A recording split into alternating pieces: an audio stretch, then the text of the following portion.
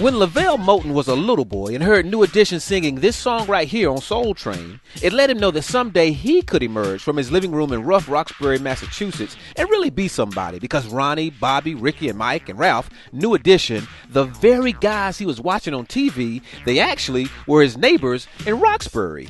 I'm John McCann. Give me a mic check. I want you, I want you. I want you, I want you.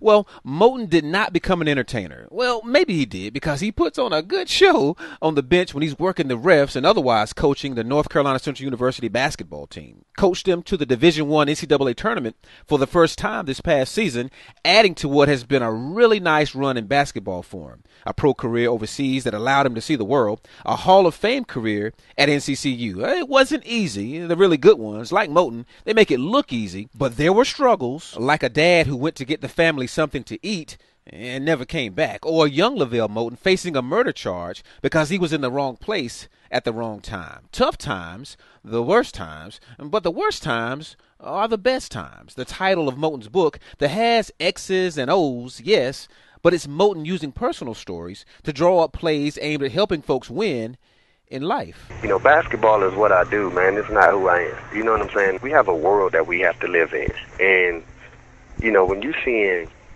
Mike Brown and these innocent kids, you know, get killed because they're unarmed. And then you're looking at the Trayvon Martin situations and just the just the things that affect our community negatively and you know that you have an opportunity to do something about it.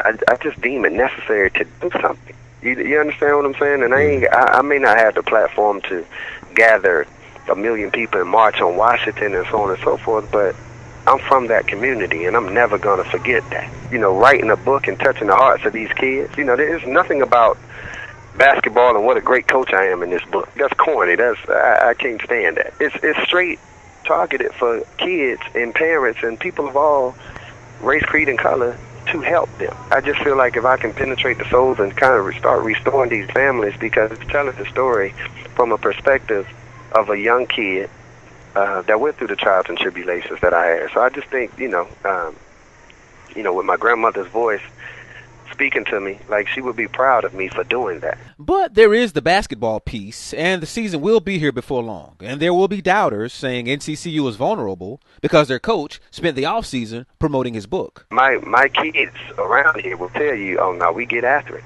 You know, so you know that's that's just what it is, and ain't ain't nothing changed. And they know that this season is going to be even more challenging than, than others because one, they have that expectation and, and they have that bullseye on their back and you know, but we expect that. Now, if Moton's book becomes a movie, he says the guy who should portray him is Chadwick Boseman, the actor with recent roles as Jackie Robinson in 42 and James Brown in Get On Up. Uh, he seems to be like the new Denzel right now, so I, I guess it would be my man. For more on this story, go to heraldsun.com slash sports slash NCCU. That's heraldsun.com slash sports slash NCCU.